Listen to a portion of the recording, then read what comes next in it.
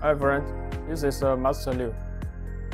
I will uh, provide online training on MacBook level repair. I will teach you M1, M1 Pro, and this is our M1 Pro motherboard, Pro or Max motherboard, and uh, M2 Air. M2 Air motherboard. This is a 15 inch, and this is our M2 Pro motherboard and the Max.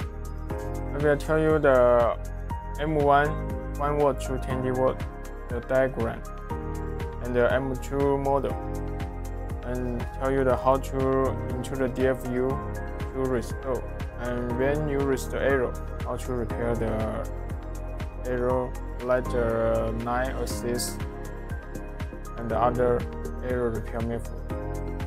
And we will show you the uh, how to unload the EFI and the pin load and the activation lock.